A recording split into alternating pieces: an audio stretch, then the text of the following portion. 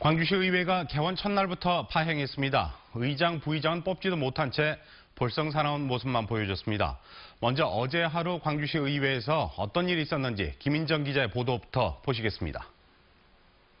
인선 8대 광주시 의회가 개원한 첫날 재선 의원으로 최연장자인 반재신 의원이 임시의장으로 의사봉을 잡았습니다.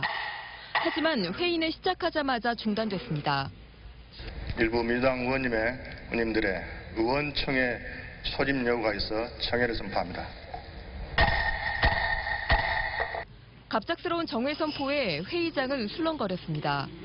일부 의원은 독단적인 의사 진행이라며 항의했습니다.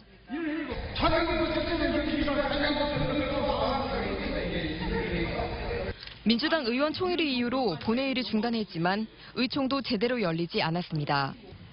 전반기 의장은 김동찬 의원으로 사실상 정해진 상황에서 부의장과 상임위원장 자리를 놓고 의원들끼리 합의점을 찾지 못했습니다. 이 때문에 당초 예정됐던 의장과 부의장 선출은 무산됐습니다.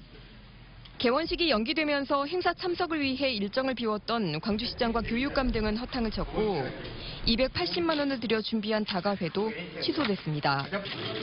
민주당 일당 독주에 대한 우려 속에 출발한 광주시 의회는 결국 개원 첫날부터 볼썽사나운 모습만 시민들에게 보여줬습니다.